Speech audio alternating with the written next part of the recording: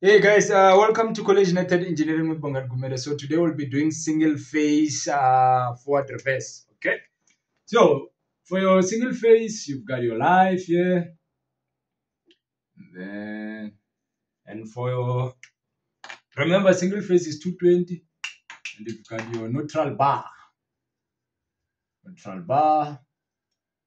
Do it like this. Da, da, da. Okay. So we're going to have two contactors because of his forward reverse. So the first contactor is this side, and then the second contactor is this side. So and then you do it like this, and da. Uh-huh.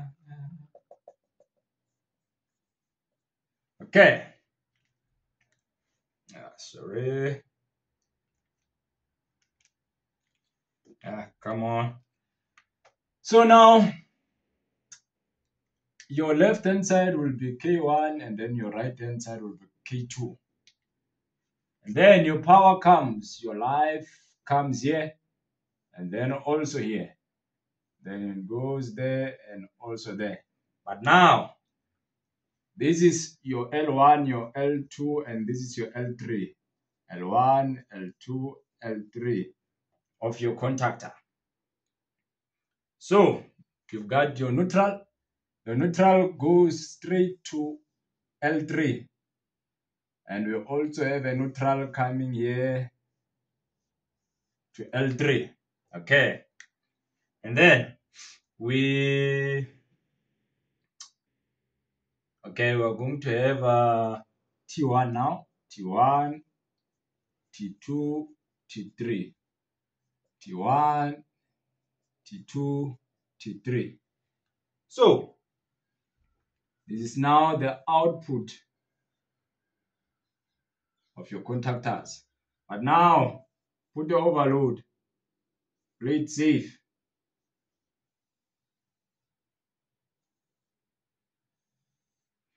Yeah, this is your overload.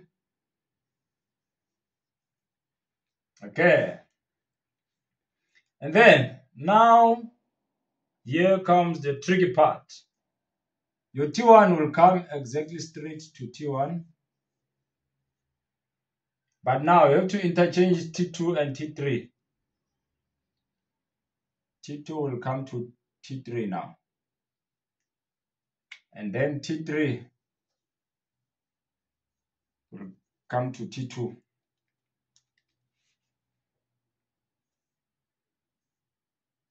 And then for this one, I'll have to refer here on my book. This is will be your running winding. And then your start winding. And then this is your capacitor. And then this is your centrifugal switch. Now this one comes here actually. Okay. So let's see. Okay, let me try to, to refer to the book. So R1, R2, and then you've got S1, S2. I'm just referring to the book. Then you've got your C1, C2.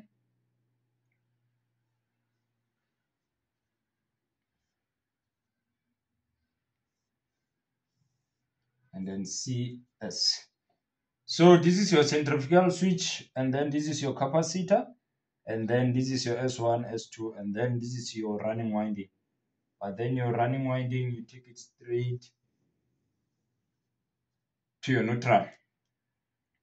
So yeah, this is how you draw your uh, single phase, um, what you call uh, single phase forward reverse. But now, um, this one you have to make sure that is connected. Your S2 and your C2 must make sure that you connect it yourself. Most of the time on the motors, your running winding they will be connected internal even S1 and S2 internal, C1 and C2 internal, and your centrifugal switch will be connected.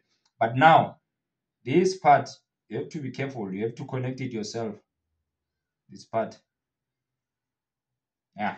So you make sure that connection is done. So that's the, this is the main circuit. This is how you draw the main circuit. You've got K1, K2, and then you've got your overload, your overload. You've got your motor, and that's your single phase motor. You've got your breaker, you've got your live, you've got a neutral bar, and this is all on 230 volts. It's not um, what you call a, a 400 volts. So yes, this is how you draw a single phase forward reverse. And this contactor one will actually, we can just say forward. And here we can just say reverse. Yeah, because since it's forward reverse. So this is your forward contactor and this is your reverse contactor. L1, T1, uh, this is a contactor overload motor. So yeah, make sure that you you always have your overload for the protection of your motor. I know most of the times people when they uh do for the reverse single phase they don't put overload, but your overload is very important. Yeah, so you can also put here L1, L2, L3. This is your T1, T2, T3. Yeah, so thank you. Let's meet on the next video which will be the control circuit. But the control circuit, in fact, is the same as the uh, the three phase forward reverse. So there's no need for me to do that one for you. Just go and watch the video of uh, control circuit three phase, the same. So let's meet on the next video. Chop chop.